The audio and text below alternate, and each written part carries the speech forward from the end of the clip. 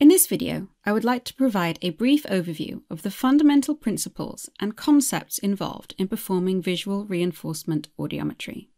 Visual reinforcement audiometry is, as the word audiometry suggests, a method of performing a hearing test. VRA is typically used to test the hearing of infants and young children and can be effective in those as young as six months of age, as this is the approximate age when an infant develops the neck strength and control required for the test. VRA is generally used in children up to the age of approximately two and a half years, but can also be useful in older children with complex needs and developmental delay. VRA involves the child looking towards a visual target, such as a toy or an image on a screen, in response to a sound stimulus. If using a toy, it should be screened from view of the child by smoked perspex, with the option to illuminate it when required to become visible. An important aspect of VRA is the reinforcement element, as the child sees the visual target each time they look towards it. But what exactly is being reinforced? There are two main important principles of VRA testing, and it is these that are reinforced by the presentation of the visual target. The VRA response is what is known as a conditioned response. This means that the child associates the presentation of the sound stimulus with a reward, in this case the visual target, which they receive upon performing a head turn towards that target. This concept of conditioning is the first principle. The second principle of VRA is that we must see that head turn towards the visual target. In some cases, you will hear this visual target described as a visual reward. But in fact, it is a visual reinforcer because it serves the purpose of reinforcing the conditioned head turn response throughout testing. Let's take a look at the different stages of a VRA test.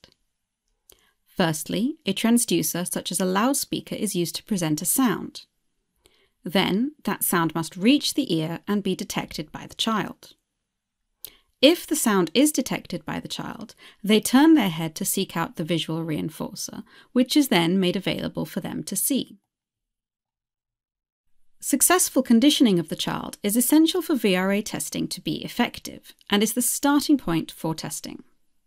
The conditioning phase involves presenting both the sound stimulus at a suitably audible level and the visual reinforcer at the same time, in order to condition the child that there is an association between the two. During conditioning, the second tester should assist in encouraging the child to look towards the visual reinforcer, and this should involve an appropriate level of social reinforcement, such as smiling, pointing, clapping, and showing excitement. It is often useful for the second tester to move towards the visual reinforcer in order to guide the child's attention towards it. In order to check that conditioning has been successful, the sound stimulus should be presented on its own.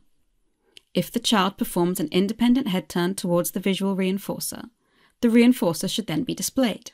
If the child doesn't turn after a second or two, the reinforcer should be displayed as part of ongoing conditioning with appropriate involvement from the second tester.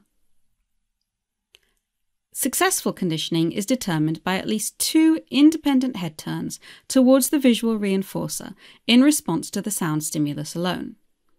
Once successful conditioning has been established, the testing phase can begin it may be necessary to recondition the child during testing if it appears that they have lost the association between the sound stimulus and the visual reinforcer. But care and skill is required in assessing whether this is due to loss of conditioning or whether it may be due to the sound being below the child's threshold and therefore inaudible. In some cases, the conditioning phase may not be required.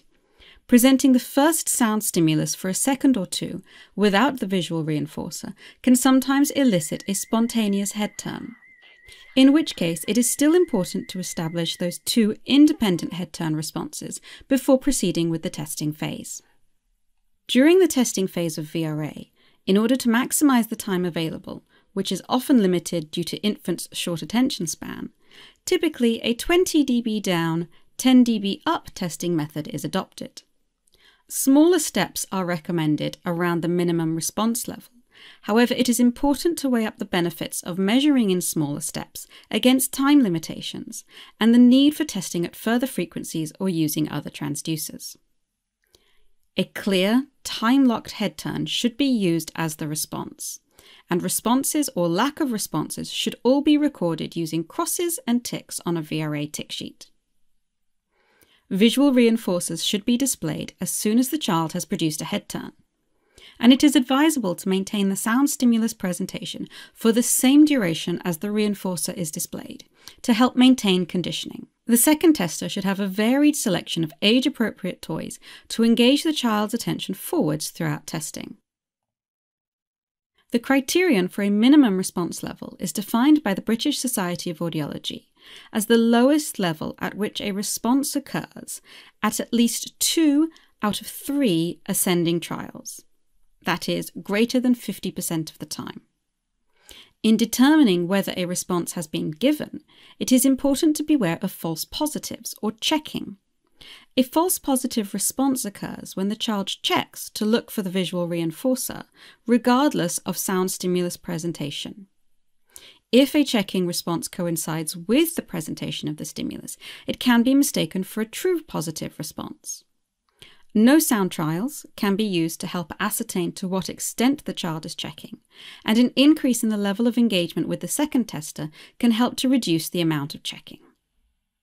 To summarise briefly, VRA is a behavioural test of hearing best suited for infants from six months to around two and a half years of age. VRA relies on the principles of conditioning and the child's head turn in response to the presentation of a sound stimulus.